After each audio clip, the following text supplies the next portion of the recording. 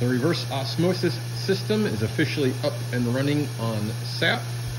We got a piece of tape here indicating where our starting level was, and we're gonna look to try to get it down into the 25 to 30% of where we started at.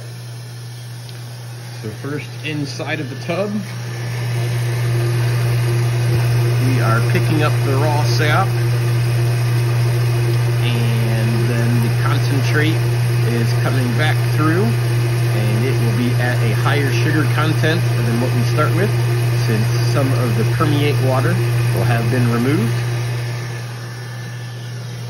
Up on top we have the pickup tube coming out of the barrel into our pump. Pickup water comes through a sediment filter. The uh, pesky fittings on the sediment filter, after multiple tries, still want to leak. So we will monitor that make sure it behaves throughout the season. Since we're sitting right here on top of the barrel, it's free to run back in and still get captured. We are still running right in the 150 psi range. Move over to the reverse osmosis membrane.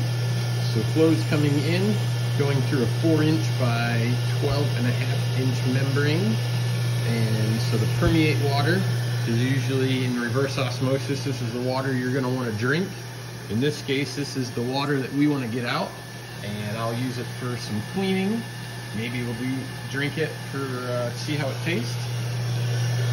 And then we have the concentrate line, what is often called the brine, uh, coming through, restricting it so that we get a higher pressure to encourage the flow across the membrane. And this tube is coming back in, and again at the more concentrated level than what it started at.